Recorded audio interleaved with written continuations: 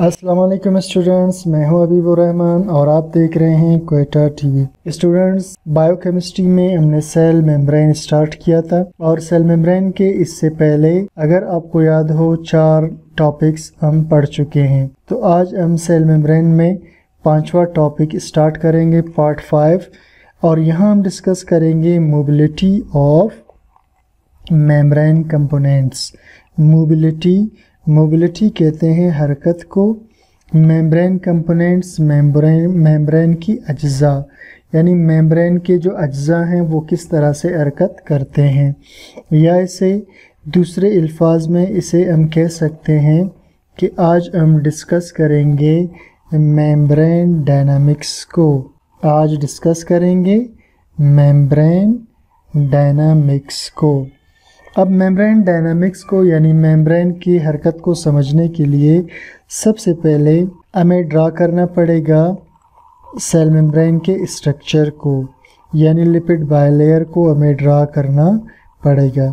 तो अब स्टूडेंट सबसे पहले मैं लिपिड बायलेयर के मेम्ब्रेन को ड्रा करूँगा और इसे ड्रा करने में चूँकि काफ़ी टाइम लग जाता है, इसलिए मैं वीडियो को यहाँ स्टॉप करके इसे ड्रा करके फिर आगे आपको बताता हूँ। ये सेल मेम्ब्रेन का, ठीक?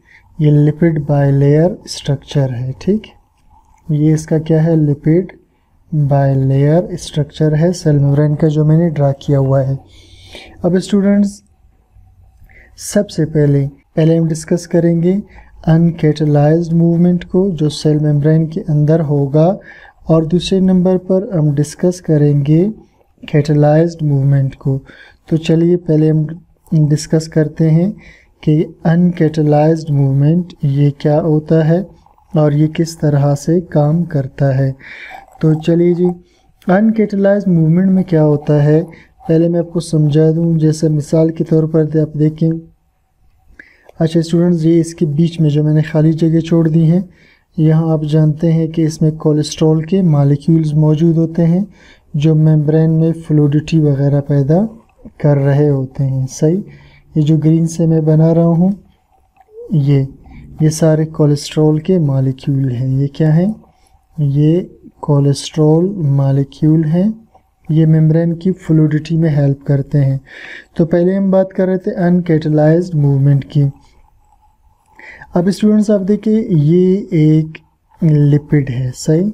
ये क्या चीज़ है? एक फास्फोलिपिड है। अब ये फास्फोलिपिड मूव करके। ये फास्फोलिपिड यहाँ से सॉरी ठीक। ये फास्फोलिपिड यहाँ से मूव करके यहाँ नीचे आ जाता है, ठीक। ये फास्फोलिपिड क्या करेगा? यहाँ से मूव करके नीचे, यानी ऊपर वाले लेयर से मूव करके नीचे वाले लेयर में आएगा सेल मेम्ब्रेन के। इस किस्म की मूवमेंट को हम कहते हैं अनकेटलाइज्ड मूवमेंट इसे क्या कहते हैं? अनकेटलाइज्ड मूवमेंट और ये होता क्या है? मैं आपको यहाँ पर लिख करके समझा देता हूँ। सही? तो इसे हम कहते हैं, ठीक है? ट्रांस लेयर मूवमेंट भी क्या कहते हैं इसे?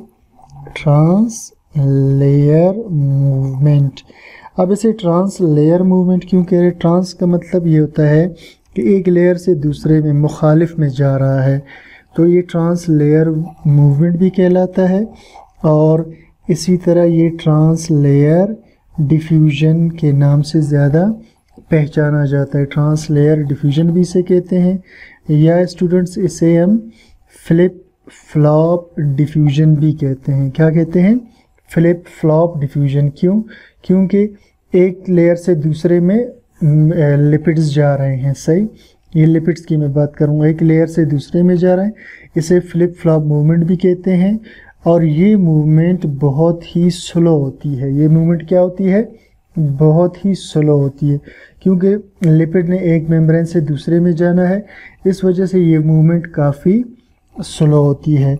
तो आप कह सकते हैं कि इन दिस मूवमेंट इस हरकत में, इन दिस मूवमेंट ठीक? Lipid move lipid moves from one layer to other layer सही इस मूवमेंट में लिपिड एक लेयर से मूव करके दूसरे लेयर में चला जाता है। अब दूसरी किस्म की हरकत क्या है? ये भी अनकेटलाइज्ड है, सही? अनकेटलाइज्ड की दूसरी किस्म है। अब इसमें क्या होगा? इस मूवमेंट में फास्फोलिपिड या आगे की तरफ़ मूव करेगा या फास्फोलिपिड पीछे की तरफ़ मूव करेगा। सही?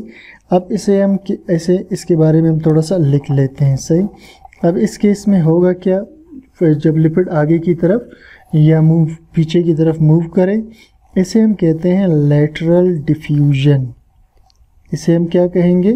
लेटरल डिफ्यूजन ये लिपिड जब आगे या पीछे की तरफ़ मूव करे, इसे हम कहेंगे लेटरल डिफ्यूजन इस केस में क्या होगा? ये जो डिफ्यूजन है, ये होगा वेरी फास्ट ये क्या होगा? तेज़ होगा. क्यों?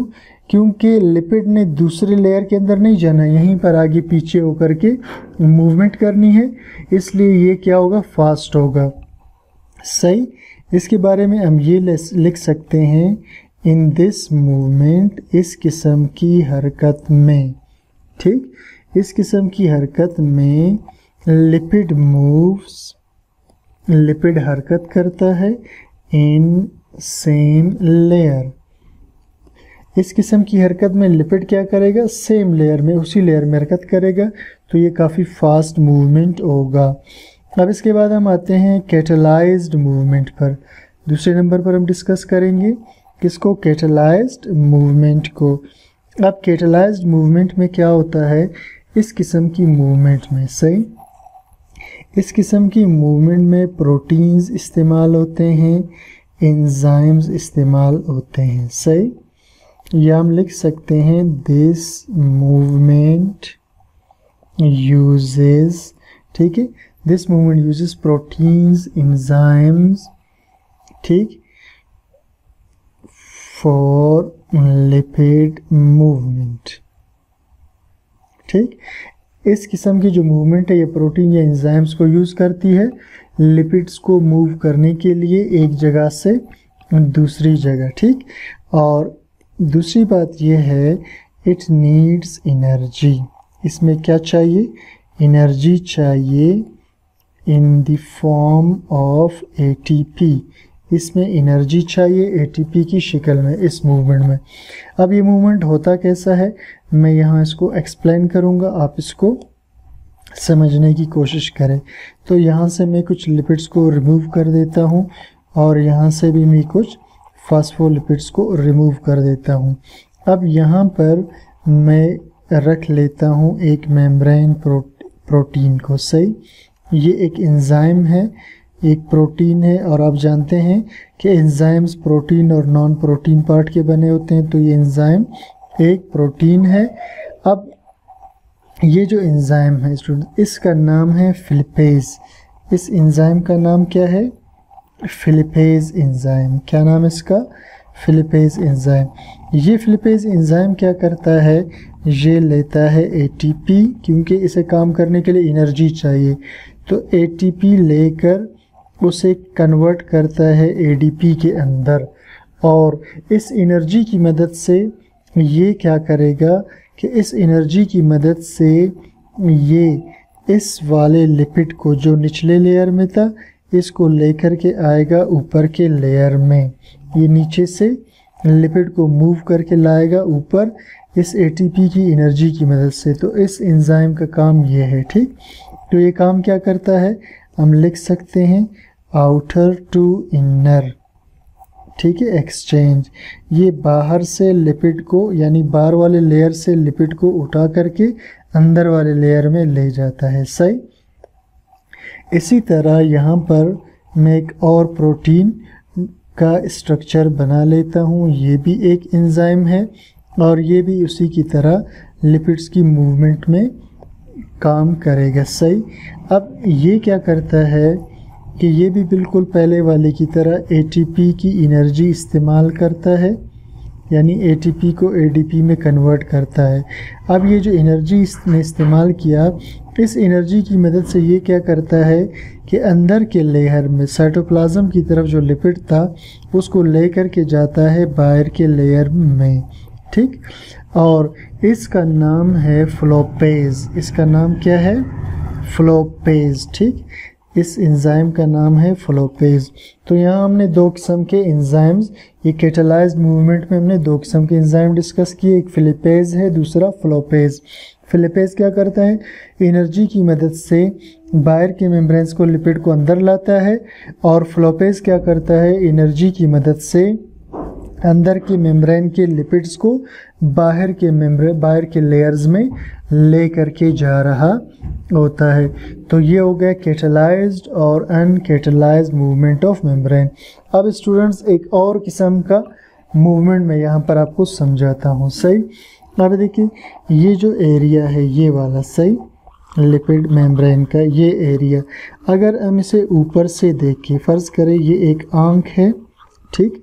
ये एक आँख है जो इसको ऊपर से देख रहा हो। जैसे हम, जैसे मिसाल के तौर पर आप किसी टायर को, गाड़ी के जो टायर है, सही? उसके अगर आप जो टायर वाला पोर्शन है, वहाँ से ऊपर से आप इसको देख रहे हो। पता नहीं ये बात आपको मेरी समझ आ रही है या नहीं? तो अगर आप इसको ऊपर की तरफ़ से देखेंगे, ठीक? तो ऊपर की तरफ़ से जब आप देखेंगे, ये आपको इस तरह से नज़र आएगा। अब मैं डायग्राम बनाता हूँ। इस डायग्राम से आपको क्लियर हो जाएगा कि मैं क्या कहना चाह रहा हूँ, सही? तो जब आप इसको, इस मेम्ब्रेन को ऊपर से देखेंगे तो इसके फास्फोलिपिड्स आपको बिल्कुल इस तरह से आपस में जुड़े हुए इनके सिरे नज़र आएँगे, सही? ये सारे आपको इसके हेड्स नज़र आ रहे हैं। फास्फोलिपिड्स के क्या नज़र आ रहे हैं आपको? हेड सही? क्योंकि आप इसे ऊपर से देख रहे हैं। तो मैं इधर लिख लिख लेता हूँ। Top view of top view of cell membrane आप इसे ऊपर से देख रहे हैं, सही? अब अगर आप इसे ऊपर से देखेंगे तो इसमें आपको दो किस्म के मूवमेंट्स नज़र आएँगे। इसमें आपको कितने किस्म के मूवमेंट नज़र आएँगे? दो किस्म के, ठीक? एक मूवमेंट ये होगा कि फ़र्ज़ करें ये जो फास्फोलिपिड है ये इस तरफ़ भी जा रहा होगा, इस तरफ़ भी जा रहा होगा, इस तरफ़ भी, इस तरफ़ भी, इस तरफ़ भी, ठीक? ये हर तरफ़ ये जा रहा होगा। और दूसरी किस्म के मूवमेंट में आपको ये नज़र आएगा कि ये वाला जो फास्फोलिपिड है, ये अपनी जगह पर ऐसे गोल सा घूम रहा होगा, ठीक? तो ये दो किस्म की हरकतें, इस उन हरकतों के अलावा ये भी मूवमेंट्स आपको नज़र आएँगी। तो मैं इनको लिख लेता हूँ। कि ये कौन कौन से मूवमेंट हैं। तो पहला पहला पहला, ये वाला है कि मूव अराउंड द प्लेन ठीक है? एक में क्या करता है कि जो लिपिड के molecules move around the plane ये अपने प्लेन पर ही मूव कर रहे होते हैं। और ये जो दूसरा है, ये वाला, ठीक?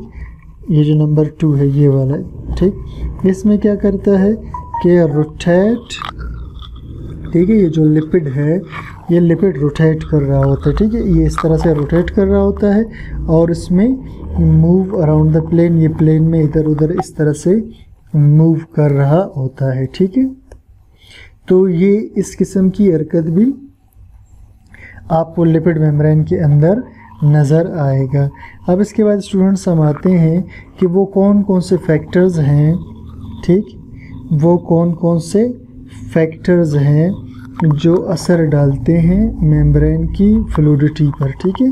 तो फैक्टर्स इन्फ्लुएंसिंग मेम्ब्रेन फ्लूडिटी यानी वो चीज़ें जो सेल मेम्ब्रेन की फ्लूडिटी पर असर डाल सकती हैं, ठीक है? फ्लूडिटी सॉरी फ्लूडिटी ठीक?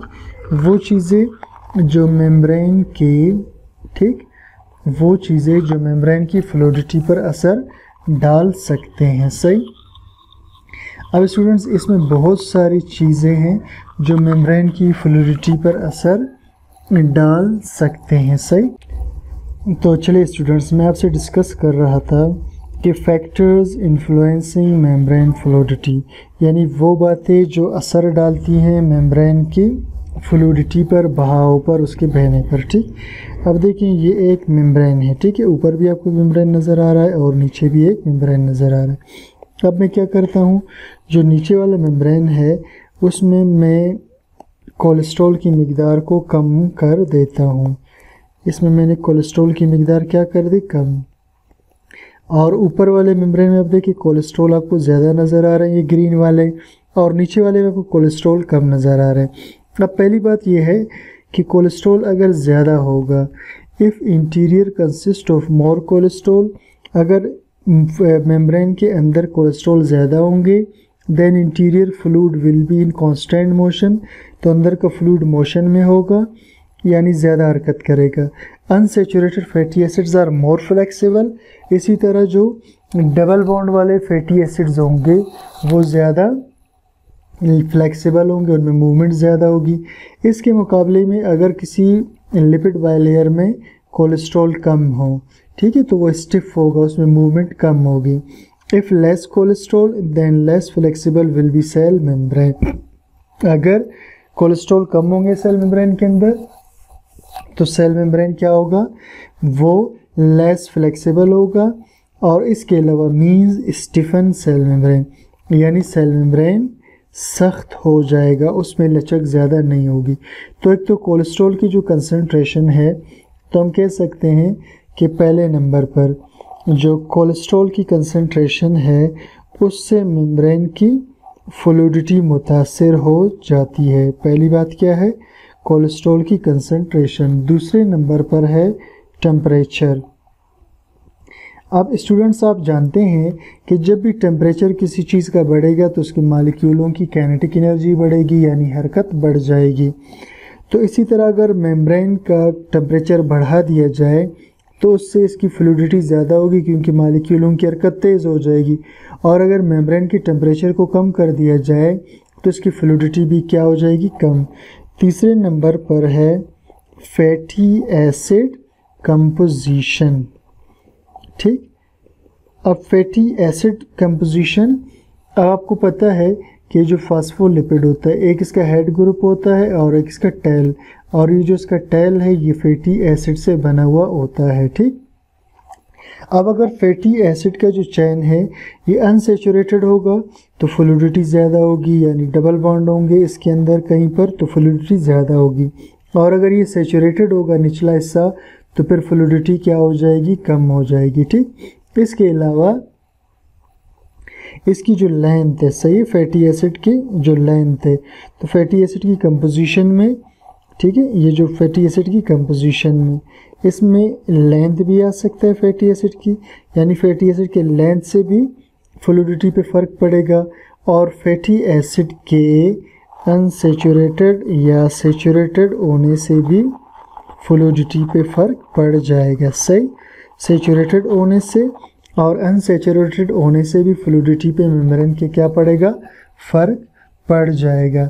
इसके अलावा कुछ और फैक्टर्स भी हैं। चौथे नंबर पर मैं डिस्कस करता हूँ। अच्छा एक चीज़ है इन्वायरमेंटल कंडीशंस कभी कभी हम कहते हैं जी इन्वायरमेंटल कंडीशंस का असर मेम्ब्रेन की फ्लूडिटी पर। सही? अब इन्वायरमेंटल कंडीशंस के अंदर स्टूडेंट्स एक तो यही टेम्परेचर आ जाता है, जो अभी हमने डिस्कस किया, ठीक? एक तो इसमें क्या आएगा? टेम्परेचर आएगा, सही? इसके अलावा इन्वायरमेंटल कंडीशंस में आयोनिक स्ट्रेंथ आ जाता है। क्या आ जाता है? आयंस का स्ट्रेंथ ठीक? तो आयोनिक स्ट्रेंथ इन्वायरमेंटल कंडीशंस के अंदर आ सकता है। इसके अलावा एसिडिटी जो मेम्ब्रेन की एसिडिटी है या एसिड ग्रुप से वो मेम्ब्रेन की फ्लूडिटी को चेंज कर सकते हैं। इसके अलावा सॉल्वेंट्स ये मेम्ब्रेन की कंसेंट फ्लूडिटी को चेंज कर सकते हैं। जैसे कोई शख्स अगर इथानॉल शराब पीता हो तो उसके सेल मेम्ब्रेन्स की फ्लूडिटी कुछ और हो जाएगी। इसके अलावा फ्री रेडिकल्स ये सारे इन्वायरमेंटल कंडीशंस है। फ्री रेडिकल्स यानी ऑक्सीडेंट्स अगर होंगे तो वो भी मेम्ब्रेन की फ्लूडिटी को चेंज कर सकते हैं। पाँचवें नंबर पर जो हमने पहले भी डिस्कस कर लिया कि अगर मेम्ब्रेन में प्रोटीन्स मौजूद हो या इंजाइम्स मौजूद हो तो वो मालिक्यूल्स भी मेम्ब्रेन की फ्लूडिटी में चेंज ला सकते हैं मेम्ब्रेन की फ्लूडिटी को चेंज कर सकते हैं। तो ये वो फैक्टर्स है जो मेम्ब्रेन की फ्लूडिटी पर असरअंदाज हो रहे होते हैं। तो स्टूडेंट्स ये आज का हमारा टॉपिक था। आज हमने सेल मेम्ब्रेन की फ्लूडिटी के मुताबिक, के मुतालिक कुछ टॉप कुछ पॉइंट्स डिस्कस किए। तो उम्मीद करता हूँ आपको टॉपिक समझ में आ गया होगा।